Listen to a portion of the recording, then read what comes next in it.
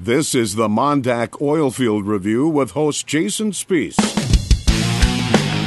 My name is Jason Spiess, and this is the Mondak Oilfield Review, heard on the Crude Life Media Network. Today we talk with Terry O'Clair, Director for the Division of Air Quality with the North Dakota Department of Health, about the Davis Refinery coming to Belfield, North Dakota. Sample Auto Sales, Manning, North Dakota, a dealership with years of experience in getting folks in the vehicle that fits their lifestyle and budget. They're well connected in the industry and can quickly find the vehicle you're looking for. Cars, minivans, SUVs, light and heavy duty trucks, even golf carts. Check out their current inventory at sampleautosales.com or call them at 701 573 7875. Better yet, stop in their showroom along Highway 22 in Manning, North Dakota. Put their many years of experience to work for you at Sample Auto Sales. Over the past few months, I've told you about how unbelievable Hatch coaching is. Well, don't just take my word for it. Listen to what Greg Tehven of Emerging Prairies has to say about Hatch coaching. I got to watch him give a talk at TEDx Brookings, and I saw him come into his own where he shared uncomfortable things from his past in a way that created a teaching environment. And Eric's somebody that could easily lead with all he's accomplished, and it's a long list. To find out more information about Hatch coaching or to have Eric Hatch come to your company or event,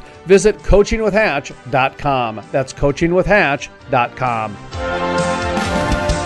Welcome back to the Mondak Oilfield Review. My name is Jason Spiess. Up next, Terry O'Clair, Director, Division of Air Quality for the North Dakota Department of Health, about the Davis Refinery coming to Belfield, North Dakota. About that, uh, kind of the milestone, if you will, that has happened with this air quality permit next step. Yeah, Jason, we received uh, the application from the company back in April. Even though it was a minor source, minor being a little less than 100 tons a year, uh, we recognize all the interest that there is in that facility. And we have had staff assigned working hard on that, you know, looking at, at the application, reviewing it, you know, to, to see if, it, if it's going to comply with the air pollution regulations for not only the state of North Dakota, but as well as EPA. Throughout that process, we had several uh, conference calls with both EPA and the National Park Service and had shared the application with them. So if they had any questions, you know, we could work work through that. And so that brings us to the point we're at now is that we've completed our application review and now we're ready to go out for public comment. And the public comment period is going to start December 8th and it's going to go through January 26th. And what we would ask the public to do is, is go ahead and, and look at not only the permit, all, but all the other information we've posted on our website. And if they've got any questions on that, they can certainly submit comments.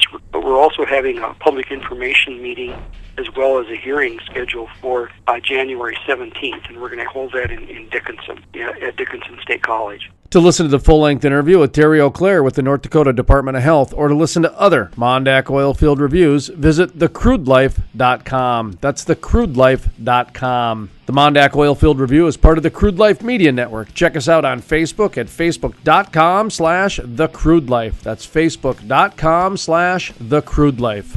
From the staff of the Mondak Oilfield Review, my name is Jason Spiess, asking you to be happy, be safe, and keep it turning to the right.